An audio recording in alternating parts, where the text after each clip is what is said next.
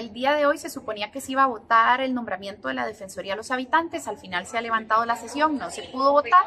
Y la razón es que yo creo que todavía no existe un consenso mayoritario, porque si vos te das cuenta, lo que ha sonado en los últimos días son dos nombres, Laura y Ulate, pero en realidad la terna tiene cuatro nombres, Laura, Ulate, Daisy y Echandi. Eh, lo que pareciera que está sucediendo es que una parte se está eh, decidiendo por Ulate y otra parte tiene dudas entre los otros tres.